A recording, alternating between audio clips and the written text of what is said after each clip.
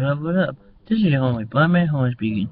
Today, I'm going to make a tarot reading for myself about what will happen when I play basketball again. And I got three cards right here to see my reading. Our first card for this reading is the Three of Pentacles. This card means that I'm doing a good job playing basketball in my life.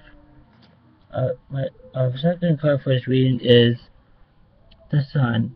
There's going to be happiness involved in my life when I play basketball again. And my third and last card is the Ten of Pentacles. This card means that I'm going to be beating with playing basketball again. So those are the three cards for my reading. The three cards again is the Three of Pentacles,